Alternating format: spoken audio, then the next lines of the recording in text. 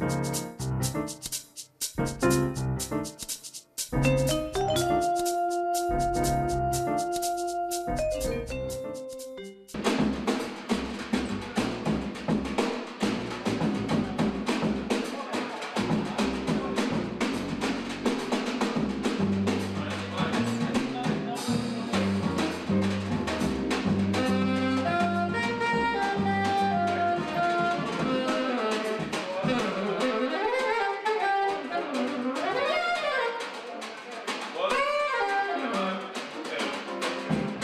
love tango. I love the drama in tango. But initially, I'm a, I'm a jazz player. I'm a bebop player. I as well love Middle Eastern music. You know, you have your Greek salad, which is quite interesting, and I have managed to create my Gilad salad. It's something that I define lately as urban folk. I think that music, and especially jazz and improvised, improvised music, should reflect on our social landscape.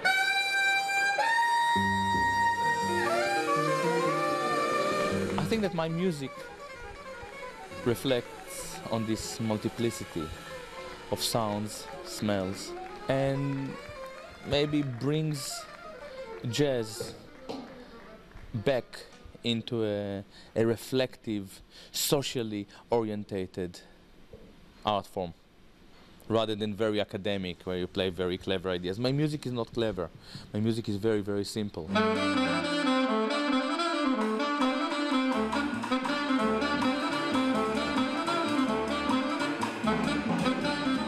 When you listen to my albums, I think that you can sing each of the tunes. Nothing is too sophisticated. And I'm not interested in very sophisticated music. When it comes to jazz, Coltrane, Charlie Parker, Cannonball, it's pretty simple. It's beautiful. It's very challenging. But it is simple. You can sing bird solo. It's a, it's a tune. And I try to make music that at least I understand it. It sounds very funny, but sometimes I eh, find myself playing in bands, and even the band leader cannot sing the music that he himself had written. It won't happen to me.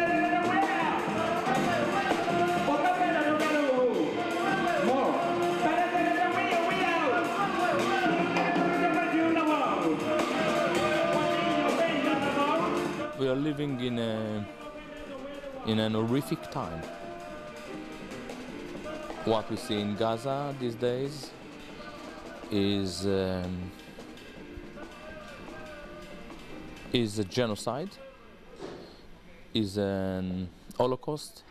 For me, for many years, I'm writing, I'm talking about the danger of the Jewish national state. Identity that is based on chosenness, on supremacy, on the belief that you are the chosen people, denies the obvious realization that we are all one kind. It demolishes the very important understanding or realization of human brotherhood.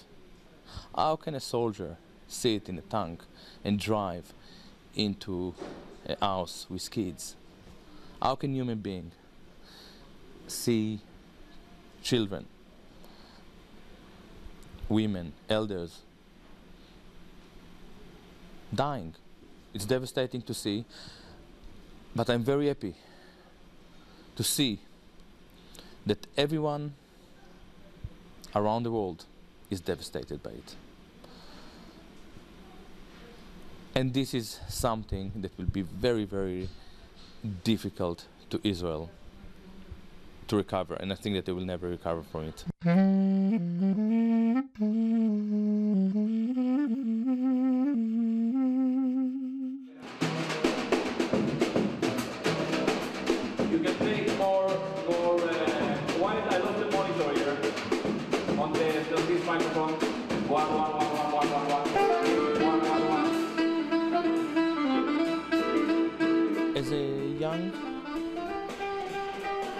person in Israel, I, I, I was convinced by the Zionist dream. I thought the Jews were persecuted and they deserved. At a certain stage, I think that it has something to do with music. The fact that I started to play music, and the music that I really loved was jazz. And I, out of a sudden, I kind of wow, Charlie Parker, it's beautiful. And I went to the shop and he was black.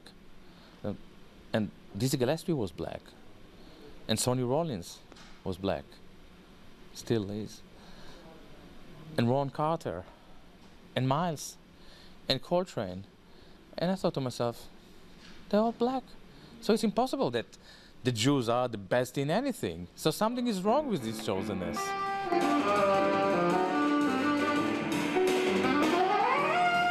Joined the Israeli army, Lebanon war, 20,000 Lebanese civilians wiped out by the Israeli army, especially the Israeli Air Force. Uh, it's just impossible. And this was kind of the stage where I started to understand that something is wrong with this whole concept of ethnic cleansing. And I cracked as a Zionist. And it, I'm now 45, so this happened 25 years ago. It didn't happen in one day. But by the time I was 27, 28, I realized that living in Israel, I was living as a colonial on stolen land. And I decided to leave. At the time, I was already married, and it was very clear to me that I would never bring kids. To bring kids on stolen land is irresponsible for them.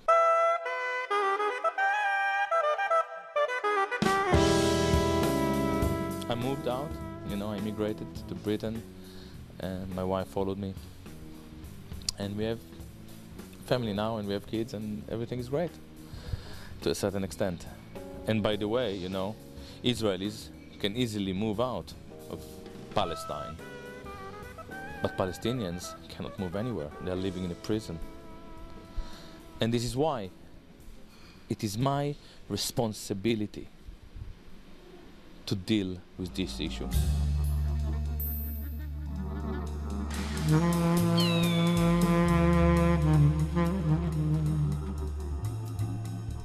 When we really go on stage, we shut our eyes and we are concerned with one thing.